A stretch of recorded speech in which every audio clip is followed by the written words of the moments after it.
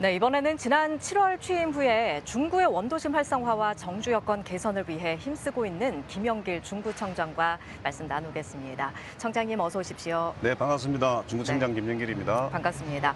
도심 속 큰 줄다리기 마두희 축제가 코로나19로 그동안 개최가 안 되다가 올해 성황리에 개막이 됐습니다. 아무래도 올해 마두희 축제 의미가 크겠죠. 네, 그동안 어, 마두이 축제가 코로나19로 인해서 축소되거나 어, 취소가 되었습니다. 그래서 3년 만에 처음으로 이렇게 에, 개최하게 되었습니다.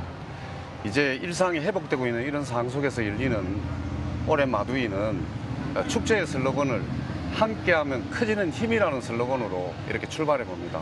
코로나를 극복하고 일상을 회복하고 이 상황들을 이겨내고 극복하는 의미를 담았습니다.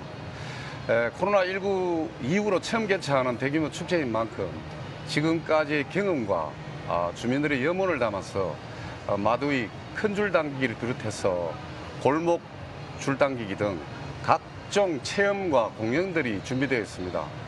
이제 아이들과 손을 잡고 원도심에 나와 보시면 멋진 축제가 준비되어 있습니다. 즐겨주십시오. 네. 청장께서는 원도심 상권을 살리기 위해서 여러 가지 방안을 추진 중이시거나 앞으로도 계획하신 걸로 알고 있는데요. 소개를 좀 해주십시오. 네, 지금 원도심은 좀 비어 있죠.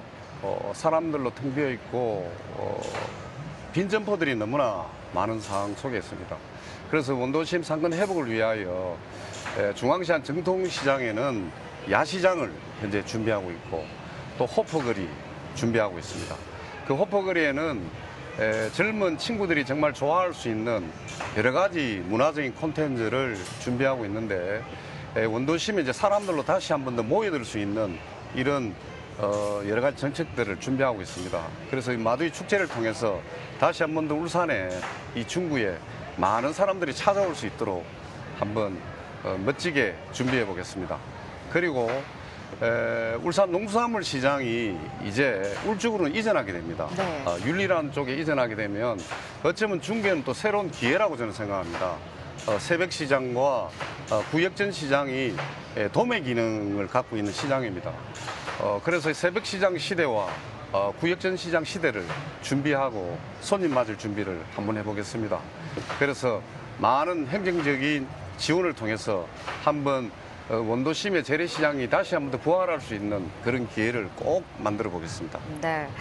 또 그런 가운데 민선 8기 중구의 가장 역점 사업을 혁신도시 정주 여건 개선으로 내거셨습니다. 구체적인 추진 방향이 있으실까요? 네, 혁신도시는 좀 동서로 길게 예, 늘어져 있습니다. 7km 정도.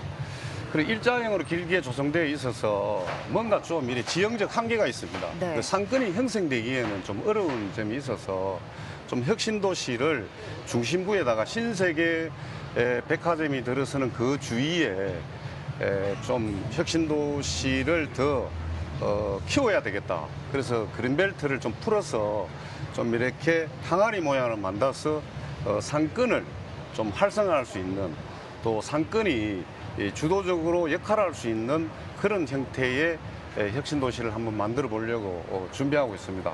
그래야만 혁신도시는 어, 새로운 혁신도시 시대를 준비하고 어, 경쟁력을 가질 수 있다고 생각하고 있습니다.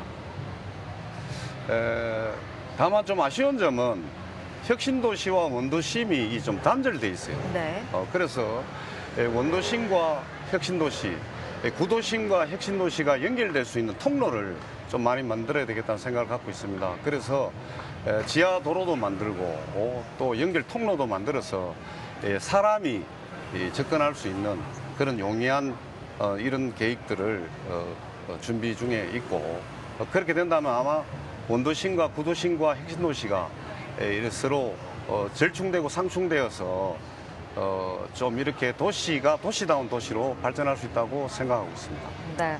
지금 현재 이 거리에도 중구 시민들이 굉장히 많아지시고요. 그리고 또 시민들께서도 TV 시청을 하고 계실 텐데요. 네. 끝으로 시민들께 한 말씀 부탁드립니다. 네, 저는 민선 8대 중구청장으로 어, 취임한 지 두 달 보름밖에 되지 않았습니다.